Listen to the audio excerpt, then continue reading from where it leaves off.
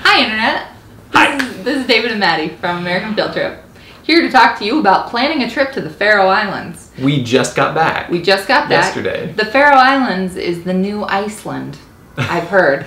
I've heard. I've heard it said. That's what we're saying. Now. That's what we're saying. The Faroe Islands is between Iceland and Scotland. It's a, a it's part of Denmark. Yeah. Um, and it's out in the middle of the North Atlantic. It's incredibly beautiful. The scenery is very Iceland esque. Um, but, But it's unique. Like I don't want to compare It- it, too much to Ah, Iceland. yeah, it is very unique. It's beautiful. It's like in my mind, it's like a combo of like the Arctic and Hawaii or something. It's It's- very dramatic mountains. Crazy cliffs. Uh, Super no trees, so it's a very kind of tundra-ish landscape. There's sheep everywhere. Parts of it reminded us of New Zealand, parts of Alaska, parts of just so many It's a unique, really cool place. It's very, very incredible, um, and definitely worth a visit. And what was really fun about it was that there were very few other visitors there. Yeah. Um, so if you're looking to kind of get away from it all, it's an awesome place to go do that. It's a very, it's a very quiet and peaceful destination. There just there there weren't a lot of crowds. We were there in the off season. We went in November.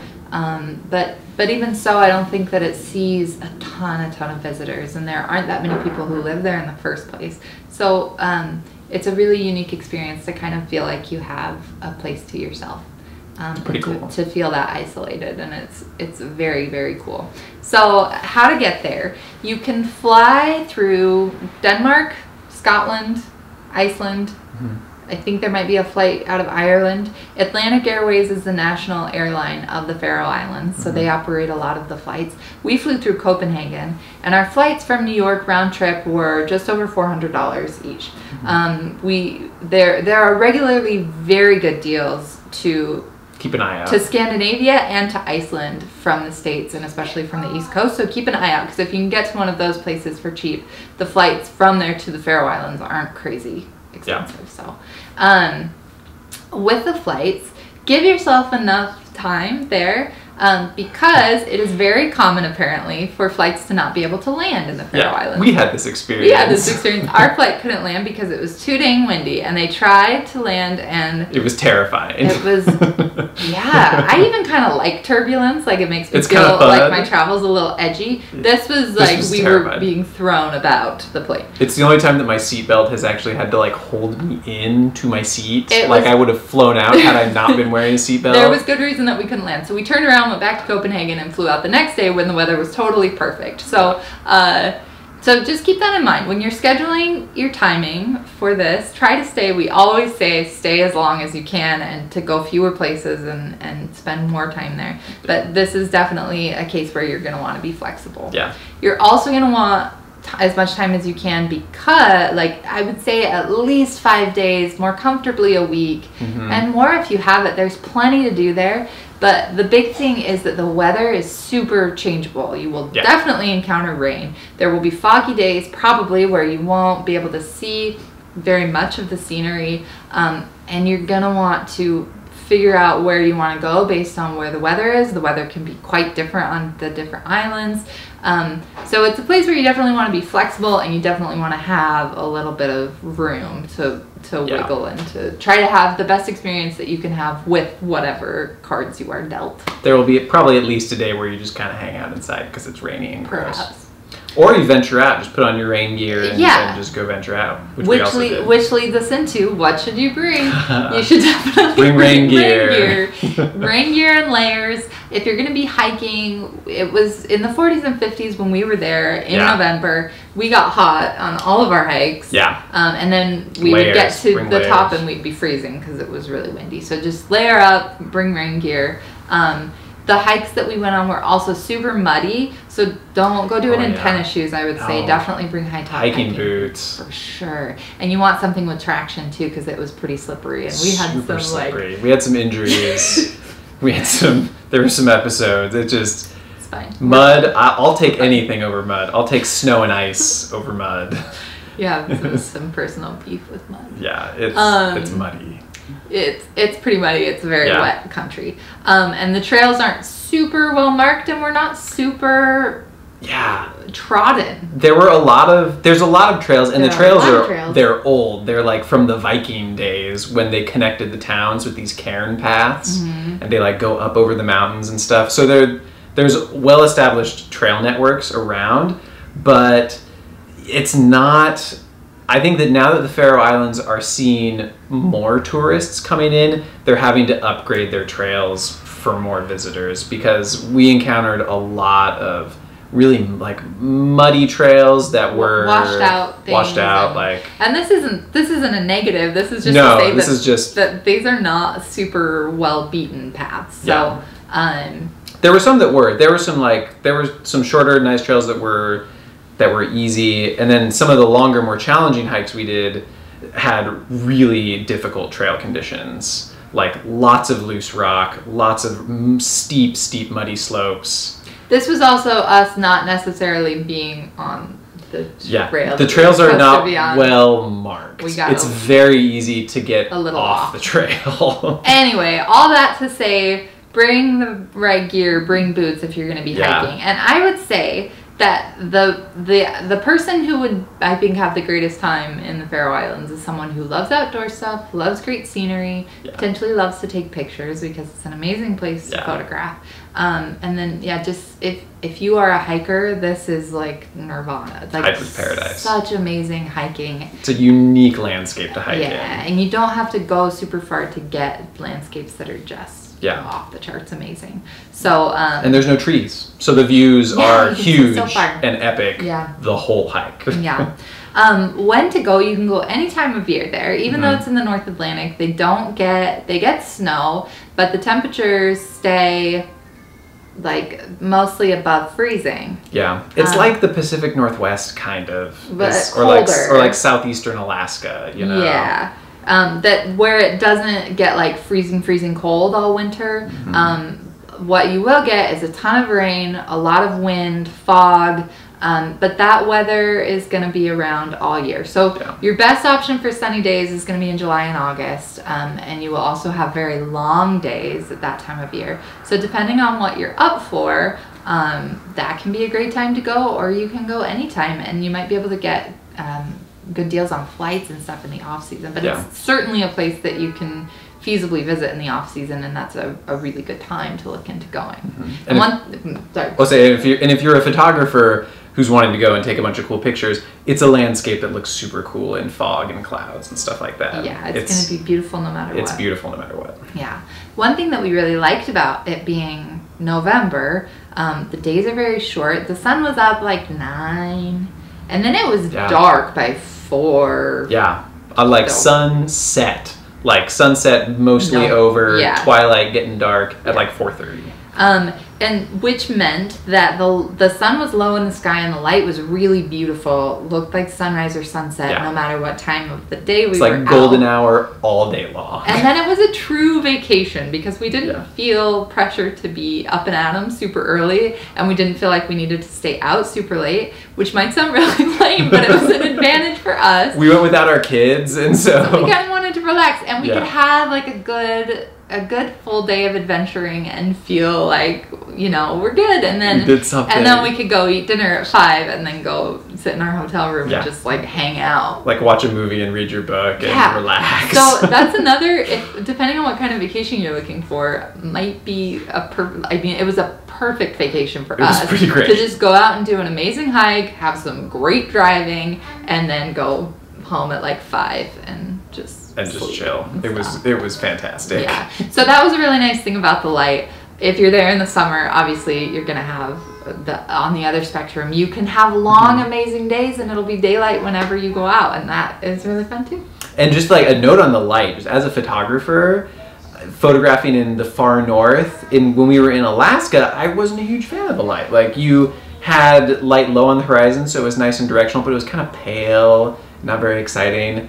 But in the Faroe Islands, since you're on the ocean, everything is kind of atmospheric, you know, it's very diffused. There's like fog and kind of spray and stuff. So the light is magical from sun up to so sundown. beautiful. It was incredible. And if Just you're not a photographer, you can just look at it. You just enjoy it. Everything is just so pretty all the time. yeah, it's really great. Yeah. Um, how to get around? rent a car. Rent a car. Probably. There is a great bus system. It's just that there aren't that many people that live there, so the buses don't run super often. You can Yeah. for sure get around by them, but if you want to have the most flexibility, rent a car.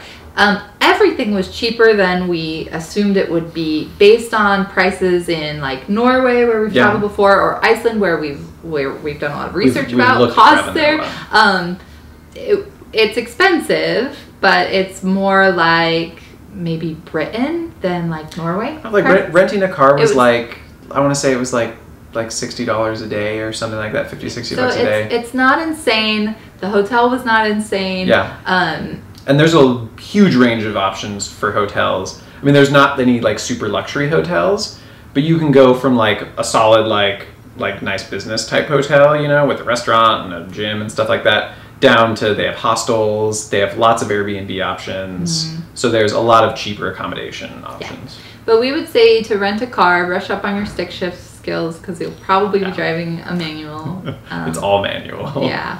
Um, But there's no traffic, so there's no one to hit. Yes, there's very little traffic. The driving's super straightforward, and um, you will probably be staying in Torshavn. Um, am I saying that right? I think so. Torshavn. Torshavn. Okay, don't. uh, I still don't know how to pronounce any Here's the Faroese thing: words. Faroese is way different from Danish, which I tried to learn a bit of before we left. Very different. Super different from Danish, and the pronunciation makes no phonetic sense whatsoever. So, but everybody speaks English, so it's fine. Yes. Um, And I everyone's just felt very bad. nice about it. If they're super nice about it. I just felt bad because I always try to pick up some of the language so I can like order my dinner in the language, and I kind of get by. But this was there was There was no, no hope. way. It was totally weird. So if we just watch all the, the names while we're talking, Yeah, no, they, um, they speak Faroese. They don't speak Danish or Icelandic And or it's very it's different. Faroe. It's their own thing. Um, but you'll probably be staying in Torshavn, yeah, which is the main city which there. is the largest city. Um, and it's a good idea to stay there. It's a great idea to stay there. That's where you'll find most of the accommodations. There are hotels outside of Torshavn, and there are a lot of Airbnb options. Well, not a lot, but there are Airbnb options around. Um, um, but Torshavn is kind of the main base of operations. That's and where that's, food is, That's where food is. It's like a, a good place to, to get provisions, and that's kind of where where everything. and is. it's small. I think our we drove about as far as you can drive, and it's a two-hour drive. Yeah. So to the hike that we did, Yeah. that was the farthest. It was it was two hours out there, and the drive is beautiful the whole way. Um, but mostly everything is within an hour of Torshavn. Yeah. Um, so getting around, if you if you're driving around, you can get to a bunch of the islands just via bridges and tunnels. Um, you can also take a ferry. They have great car ferries. The times are a little weird, so definitely look into that because it was not very consistent from day to day, and it didn't always make. Yeah. Uh, there was sometimes it would be they'd go very early in the morning, and then there wouldn't be another ferry until. Just like, read the timetables carefully. Yeah, plan ahead on that kind of stuff, but Yeah. definitely worthwhile to take a ferry to one of the southern islands or one of the outer islands. Mm-hmm. Um, during the summer, they have a huge population of seabirds there, and that's what draws a lot of the tourism that they do have.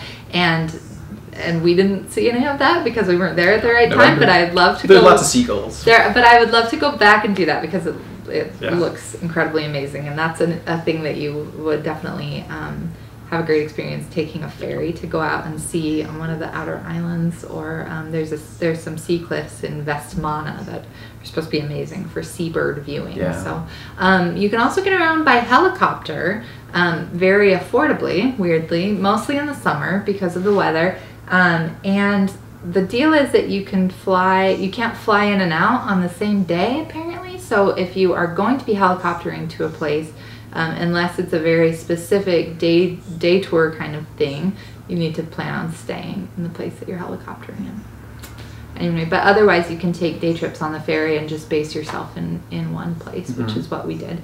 Um, the food, there is good food Super good food, actually. really good food. Um, it's expensive to get that really good food. Some I- there were there were good cheaper options that were good food, but there aren't like a lot of mid range, just kind of regular Yeah. restaurants. There's like some real good fancier stuff that's expensive, and then there's like pizza. Yeah, there's like a lot of pizza. Maybe this is just the way that we were trying to do the trip. Is that we were like, we were like trying to do it pretty cheap. We we were we like cashed in all our credit card points for our for our hotels, and we're trying to do it pretty cheap.